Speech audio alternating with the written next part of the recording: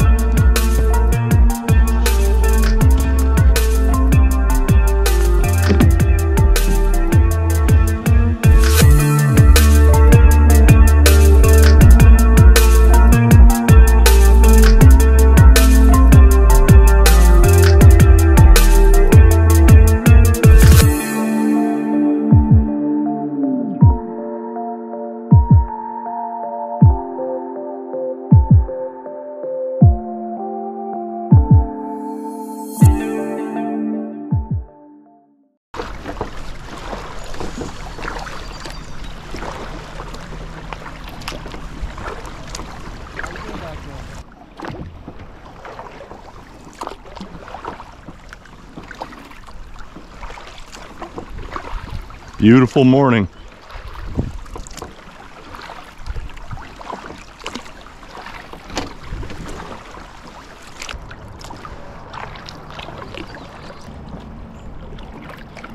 This might be the place.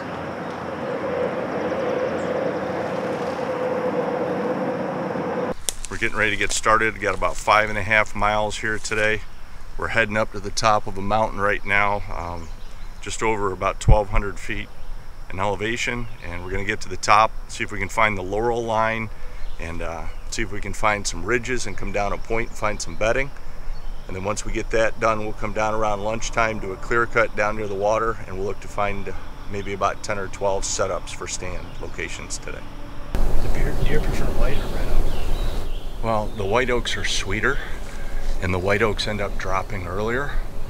So you're gonna hunt around white oaks and white oak flats in early to mid-October, and the deer will eat those white oak acorns first. And uh, what's nice about this area is it's got a lot of red oaks, but there's white oaks intermixed. What we want to find is that area where you find a huge white oak flat, where they come and eat in that area, you know, for an extended period of time. Plenty of red oaks in here, which is awesome, but those red oaks are a little bit more bitter and those red oaks end up uh, dropping later, you know, end of October to November. You can just lie and say we're almost there. No, I'm not gonna lie to you, man. I'm gonna be honest. We're not even halfway. Yeah, definitely great habitat for rattlesnakes to hide underneath those things, huh? Okay, we're uh, 400 feet up. Got another 600 to go. A little tired, coach? No, no, no. It's like hill climbs. It's uh, what we came up wasn't steep, right? No. We're at uh, 1,600 feet. You know what I can describe that as in the movie Lone Survivor where they threw themselves off? That's what that is. Yeah. So we just walked up this steep face from the water, probably about 600 feet in elevation, and we came up to about 1,700 feet. And here's where we found the beginning of Moose Maple and mountain laurel. We were going to walk up to 2,100 feet, and we were going to take a look at a saddle between two small ridges, and we decided that instead of walking through all this thick stuff, that we're going to begin to work down this point. You can see right here is this level as I pan down that this stuff begins to disappear. We begin to get in some open woods. So a little bit of a bench right down here below us. We're gonna follow this point down and our goal is to find some places where we find deer that are on a trail just over the edge of this east facing slope in a west wind and they come around this point to this west facing slope in an east wind and see if on the way down the point we can catch some of these trails and set up a couple tree stand locations. Holy rub. Put your hand in front of that. This is what we've been looking for. Wow. That thing That tree's- is monstrous. Eight inches. Amazing right here. How he rubbed on this tree, broke that branch, and then he's got a bed right here overlooking this wide open area. He's got to spend a lot of time in this bed right here. Well, yeah, it's protected. Yep. Okay. He probably probably goes down right here, doesn't he? You can see the trail. Yeah. Right here. I mean, we're on it. This is a deer trail right here that we're on. So So I think he comes down through here, and I think we're going to start to see him following down this way. so let's spread out a little bit and see I'll go down about 20 yards. between the two of us we can find another one. Because look at this now too.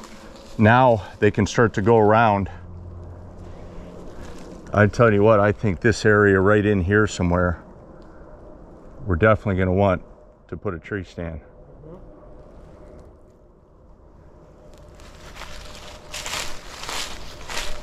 Be nice if we could find another rub to get an idea.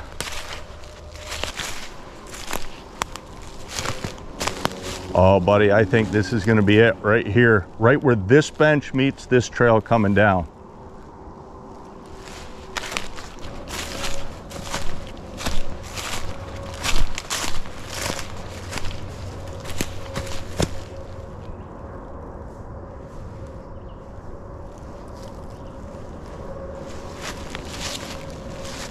I think we got to mark something back there.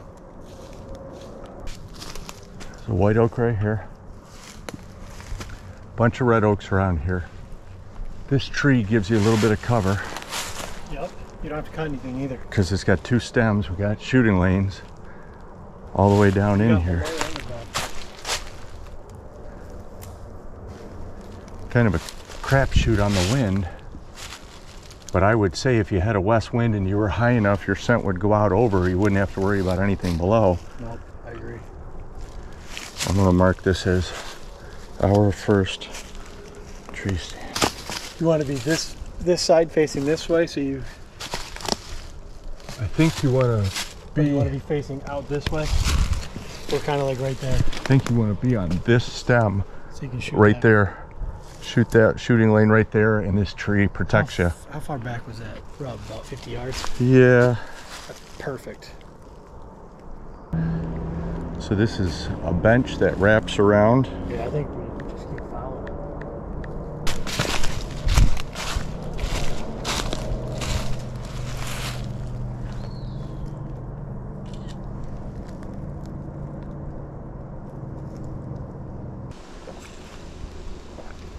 I think we're gonna find a trail that wraps all the way around right here and comes all the way down there. You think we should walk up and down and around, or do you think one of us should go we need here? to go down on this one and see where it meets, and then if we want to, we can backtrack. Okay. Why don't you do this? You go this way. I'll go 100 yards or so. I'll drop down to where that is, and I'll come around and I'll meet you somewhere down in here. there about 80 yards. Okay.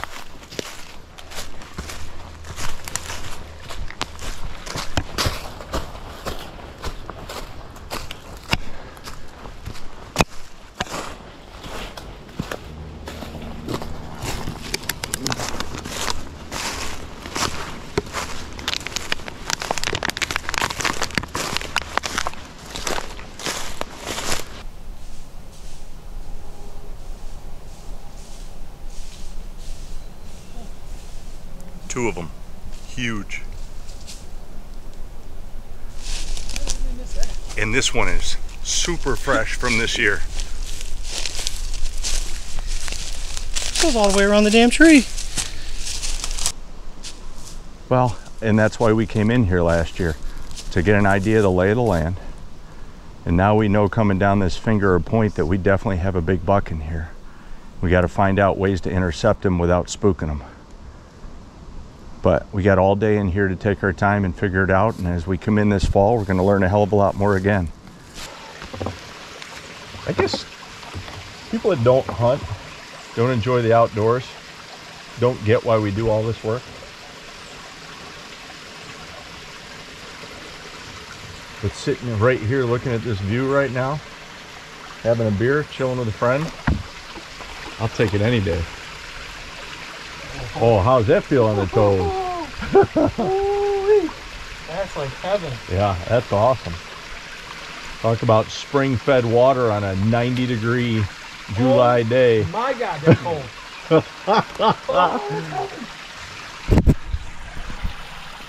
That feels good, doesn't it? Good is not the word for it. Can I do a water angel? Put your feet under there, man. I did. That's freaking awesome. I can't believe how cold that is. Yeah, That's got to be 15 degree water. yeah, it's awesome. Cooled me right now, that's for sure. What a great place to have lunch. Oh my gosh, is it cool down here?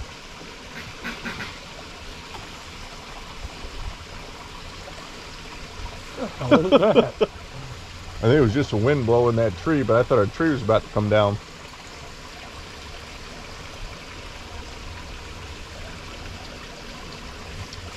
There's no makers around us, is there? I think we learned a lot right there just based on the mountain laurel from the bad experience we had last year.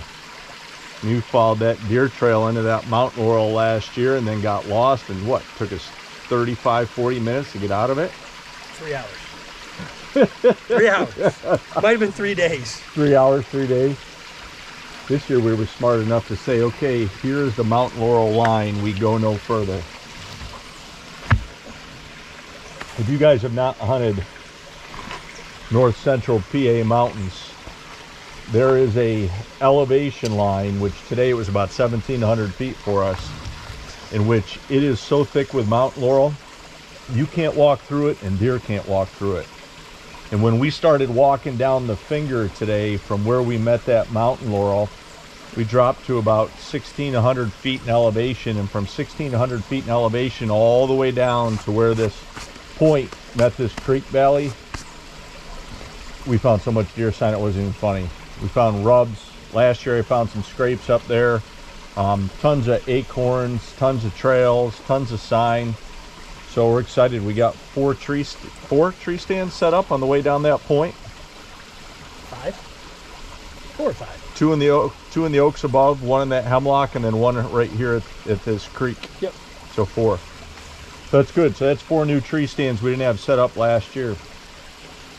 The thing is, is where's he bedding? Is he bedding up in the edge of those mountain laurel, looking down over that steep face, I think it depends on the time of year. or is he bedding down in this thick clear cut by the water?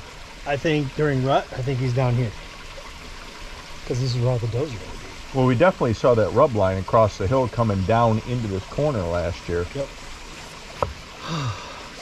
That is something that I will say about deer hunting for me. is if it was just about getting a deer, that would be one thing. But it's all the stuff that goes into it.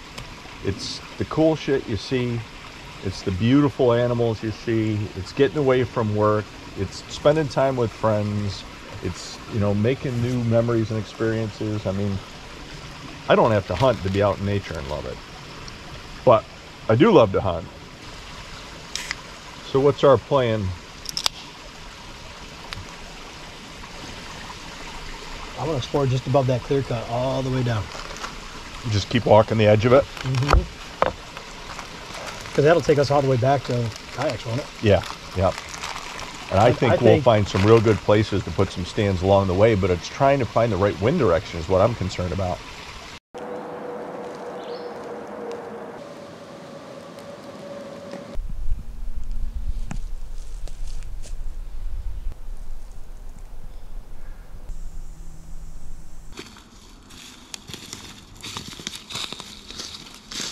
So Lee and I just set up this grapevine mock scrape and this camera. There's this heavy trail right in front of me here. As you come across, there's this huge clear cut, super thick stuff. It's about 200 yards down to the water.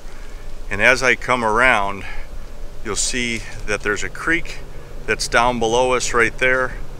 The trail continues right across here. We've set up a grapevine mock scrape. And then over here, we've got a camera set up. One thing that we're thinking about today, because right now I'm looking in a northern direction, but the wind right now is supposedly coming from the west southwest, which is actually to the left or to the left behind the camera, but the wind is actually coming down here almost a southeast. So what we're thinking is happening is that southwest wind is coming around this mountain, it's coming up this body of water, and then during the day with the thermals coming, this south wind is bringing these thermals right up this hill. So even though it's a west or southwest wind, right now at this time, still before noon, we're getting a southeast wind because of the topography and because of the thermals.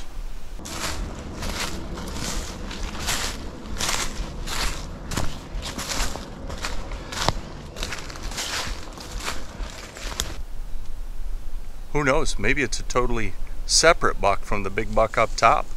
Be nice to have a couple giants walking around here. Well, then we got one grubs right there too. Yeah. Well, this is a line that goes all the way across this slope, remember?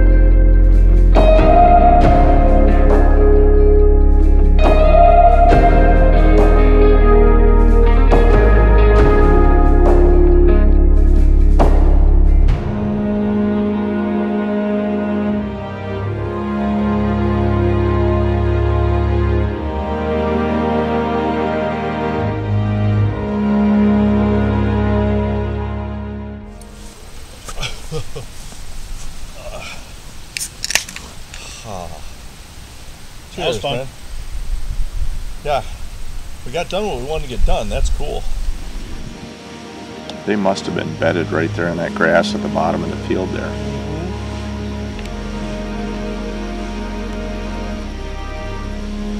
All three does. Yeah. Tell me if you see a wreck pop up. I see five deer in front of me right now, so I'm, I'm good.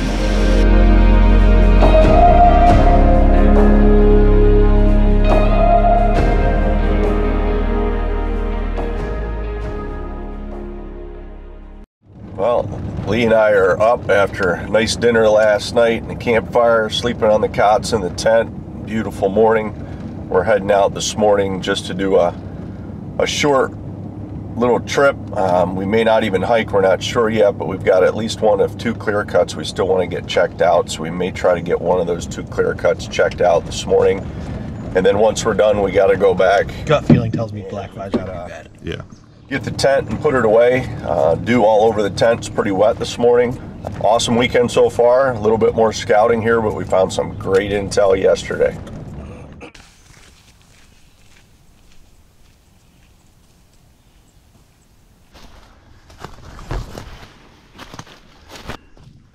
Yep. Yep, they're coming right in here to drink. Look at the size of those hoof prints. I think that's horse. No, those are just all hoof. Oh, over there? Yeah. Could could be a bear. That's a big bear. That looks like a bear print right yeah, there. it doesn't look. There's no defined. eh, that is a bear. Look, see? Yep. You can see right.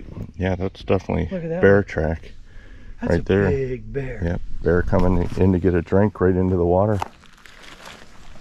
And we've got this well-defined trail right here that's going along the edge of this real old clear cut in this mature woods. So we're going to follow this along and see if we find maybe an intersection of trails to possibly put a location for a tree stand.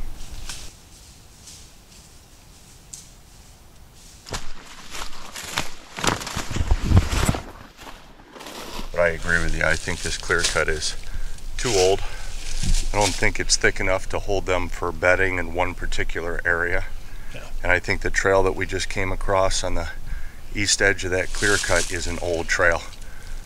Yeah, I definitely think like 10 years ago that would have been a lot better. But now there's no distinct line between these mature woods that are right here and that clear cut that's probably 15 to 20 years old that we just came from. So I would assume that this is probably not a place that Nope. we're going to go ahead and hunt.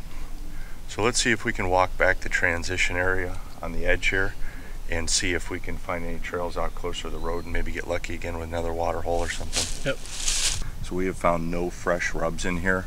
All the rubs that we have found look like they are at least three years old, have kind of grown back over again. So we're definitely thinking that this area, it's not going to be an area to come back and hunt just because the clear cut is too old and there's really no huge defined edge of where they can bed to where they can come out and feed. So we're going to move on. So all that deer sign that we saw was concentrated around that mowed field in the middle of this big forest. We haven't seen any defined trails other than those coming into that field. So I really think that that would be the place to hunt here, but it's so close to a, a road that I have a feeling there's a lot of pressure. So just don't know if it's worth it compared to the other places we found.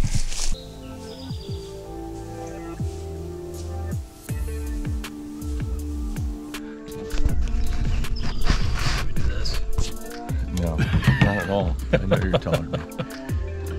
Okay, guys, PA scouting is done for 2022. Uh, actually, Lee and I had a lot of success yesterday in the place that we had to uh, canoe across a body of water to get there. Uh, set up a good, what, 10, 10. 10 11 stands? 10 stand spots. Have wind direction set up for them. Uh, we're going to go back in in August and get a cell cam in that area and just double check to make sure that those tree stands are set up. But PA scouting's done. Another good weekend. Time to go back to uh, the real world. Yeah, we gotta work next week. I know we do. Yeah. Oh well.